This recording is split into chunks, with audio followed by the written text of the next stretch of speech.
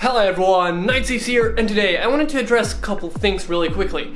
Um, basically, there has been a lot of drama on YouTube lately because of the new change that YouTube has made, where the smaller channels will not have any advertising anymore.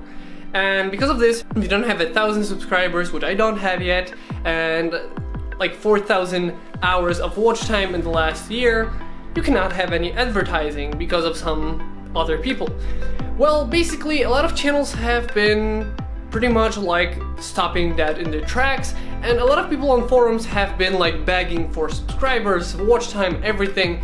And I thought to myself, well, so you guys are doing this for the money? Like, that's the only reason you're doing it?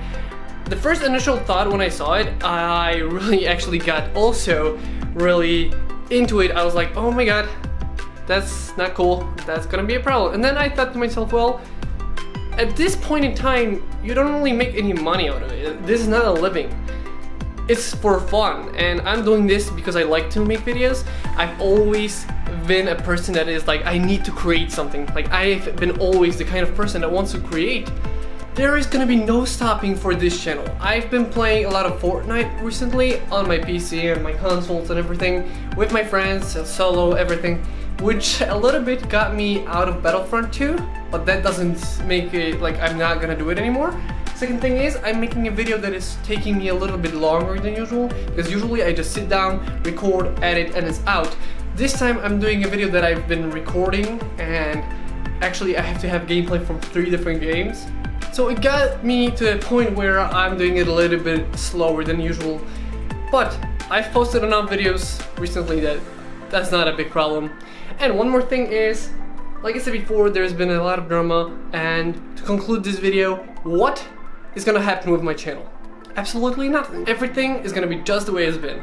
So my channel has actually uh, gotten a really nice growth. Like I never seen, I know people are gonna be like, okay, you have 369 subscribers, what is this? Well, for me that's a lot because I never got to this point. Whenever I started doing videos, I always got like two subscribers and I quit because I didn't see the growth.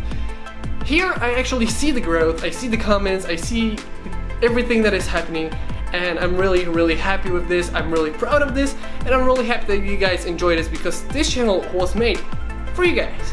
And all the YouTube changes will not affect this as I'm in this for the experience and I always loved making videos, making content and I'm happy I can do this and because of this, there will be no change to my channel at all. I will not be quitting, I will not be stopping.